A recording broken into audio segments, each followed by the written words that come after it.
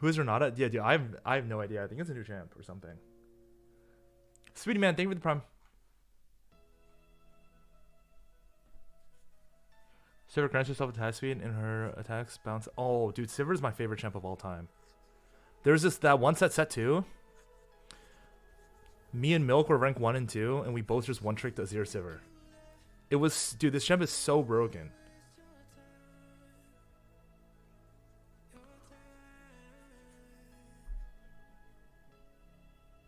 Alright, anyway.